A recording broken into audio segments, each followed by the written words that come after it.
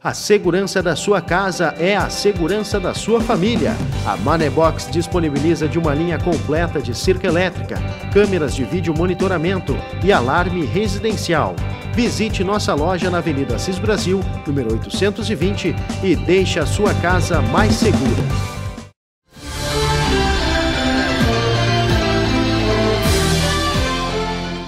Confira agora as principais notícias da região. Um homem que guardava drogas no cemitério municipal de Arroio Grande foi preso pela Polícia Civil. Conforme as informações, foram apreendidas junto com o indivíduo 100 gramas e 17 pedras de crack e um túmulo fechado com cadeado que o indivíduo guardava consigo.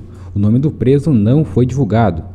Encerrou hoje o prazo para se inscrever no Enem 2018. As inscrições foram abertas somente pela internet no site do participante, onde o estudante informava o número do CPF e do documento de identidade para criar uma senha.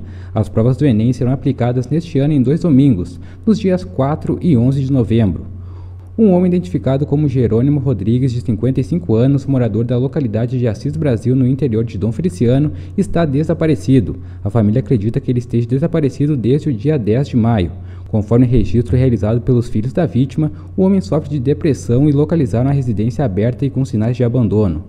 E um homem foi apreendido pela Polícia Rodoviária Federal em um veículo com mais de 20 quilos de pasta base de cocaína na BR-116 em Pelotas.